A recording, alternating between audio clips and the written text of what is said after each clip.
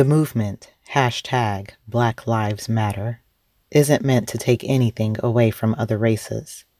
It's reminding everyone that we are also part of hashtag All Lives Matter. The movement is not black versus white or black versus everyone else attack. It's not an attack at all. This movement is literally our cry for help to the rest of humanity. This movement is worldwide. This movement is not just about the police force. It's about injustice of any kind and violence by anyone against black people. Those who have not experienced the black experience can't relate so they respond with the little and outdated knowledge they have about us and try to apply resolutions that work for them. But with everything, results may vary. And when you are dealing with people who are not always predictable, success is not guaranteed. Black on black violence could be included. However, our fight against that is intercommunal and has its own movement.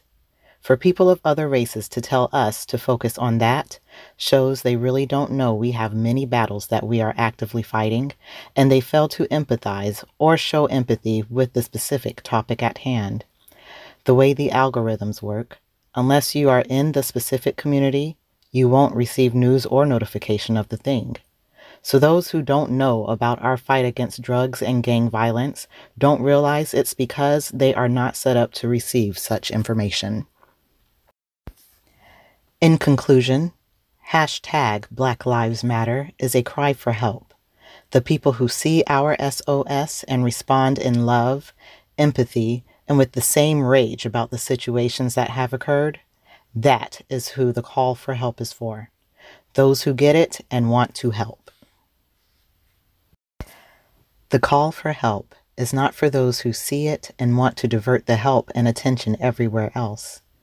Those who see the call for help but can't bring themselves to be the least bit helpful about it are constant road bumps. Annoying, but they won't stop us. The movement moves on.